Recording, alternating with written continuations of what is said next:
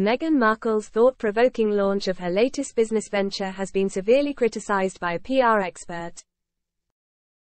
The Duchess of Sussex officially relaunched her Instagram account to promote her new lifestyle brand, American Riviera Orchard, only a week after she spoke of the dangers of social media at a women's panel in Texas and just hours before Prince William gave a speech at an event in London.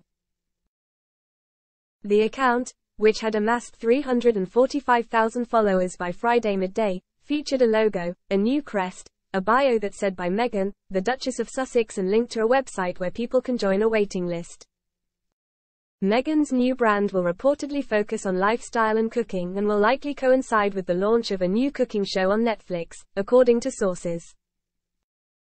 But a PR expert questioned the intentions behind the former Suits actress launch and touched down on its timing, as well as her decision to use social media after expressing the desire to keep her distance. Renee Smith, founder of The Atticism, told Express.co.uk, the question of whether Meghan's timing for launching her new venture, coinciding with Prince William's speech, was deliberate is indeed thought-provoking. Without insider knowledge, it's challenging to assert if there was any intentional overlap with the royal schedule. Given Meghan's expressed distance from the royal family, and the unlikely event she has access to their schedules, it's plausible that any timing overlap was coincidental. However, in public relations, perception often equals reality. Therefore, even unintentional overlaps can lead to speculation about underlying motives.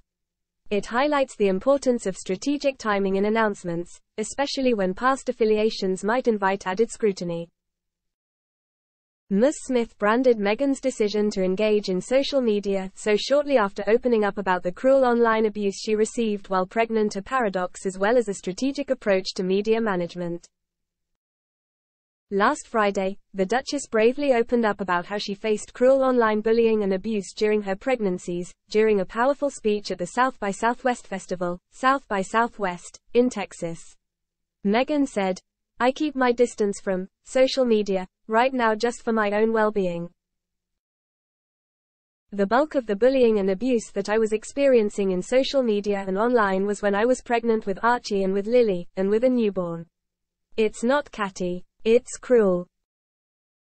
Now Ms. Smith explained, Meghan's re-engagement with social media, despite her avowed intent to keep her distance, presents a paradox that many in public relations grapple with balancing personal principles against professional imperatives.